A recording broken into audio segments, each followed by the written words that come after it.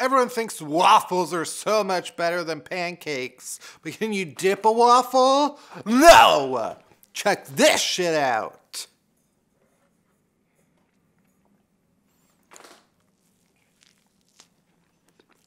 Fuck your waffles.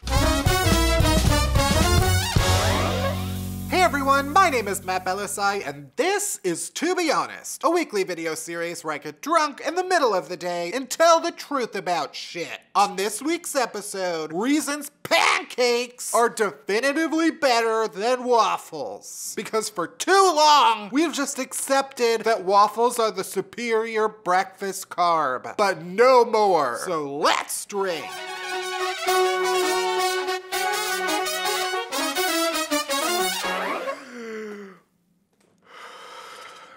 All right, first of all, pancakes don't require a special iron just for themselves. You can make pancakes on anything. You can make pancakes on a hot playground if you want to. Not like waffles, which require their own fancy dressing room because they are the divas of the breakfast world. And I'm the only diva allowed at breakfast. Have you ever tried buttering a waffle? That's like putting sunblock on a giant baby. If that baby had a bunch of holes in it. You get one glob of butter and one waffle dent, and then no butter anywhere else? I want my breakfast cholesterol like I want my societal wealth. Evenly distributed. Boom! Political! And don't even think about telling me to melt the butter before I pour it on. What do I look like, some kind of alchemist? Do you want me to cook up the sorcerer's stone while I'm at it?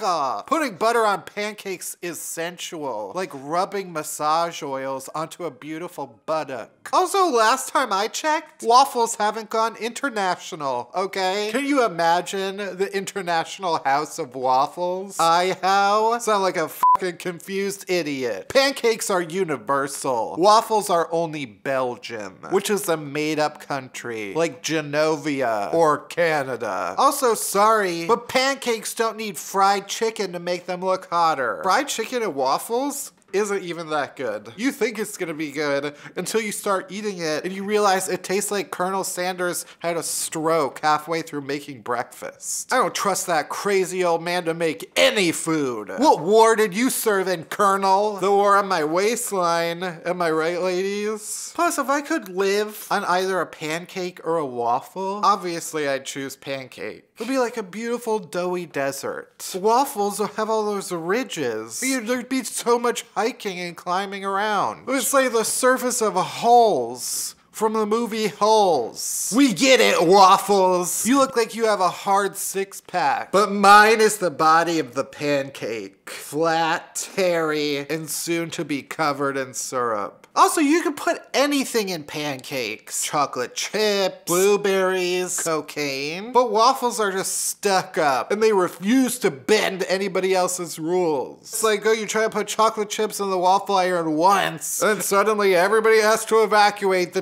dining hall. And then you're in the dean's office and he's like, this is the eighth time that you've done this this year. And if you do it one more time, we're kicking you out of your interpretive dance program. You, Dean Keller. Also, pancakes are versatile. They are the tops and bottoms of the breakfast world. You can have them on the side, you can have them underneath, you can have them as the main event. That's why they call them fluffy, because they're the fluffer of the breakfast community. They're there to make sure everybody else performs at their most erect. Also, pancakes don't try to pretend to be something they're not. Like, what the are waffle fries. Nobody asked for this. We were perfectly happy with dick-shaped fries, but no. Big Waffle had to come in and force their shape on the most beautiful food in the world, the french fry. I'm looking at you, Chick-fil-A. You can suck my dick you homophobic pieces of shit. I don't care how good your chicken is. Suck my asshole. Plus, waffles need to be made in the shape of whatever waffle iron you have. But pancakes can be any size or shape. I can make a pancake husband if I want to. And we can sleep in a pancake bed. And we can live in a pancake house. And none of you can do shit about it. Because the Supreme Court said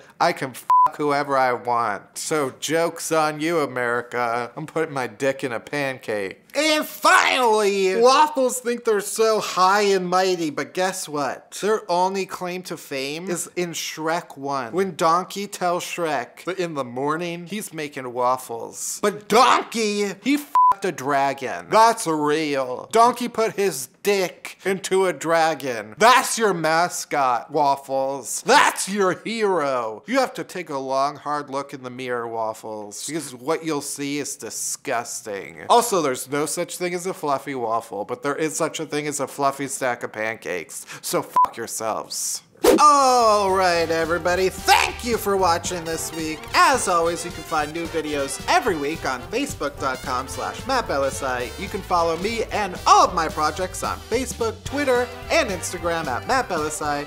You can listen to my podcast Unhappy Hour, on iTunes, wherever you get podcasts. And that's it. That's everything. Thank you for watching. See you next week. Uh, bye-bye.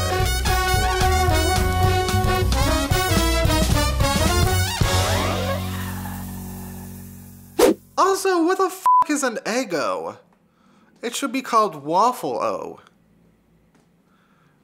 Uh, because it is uh, because it looks like a two fallopian tubes? Two ovaries? Is that what they call it an ego? Because of the of the ovaries? It should be called Ovarios.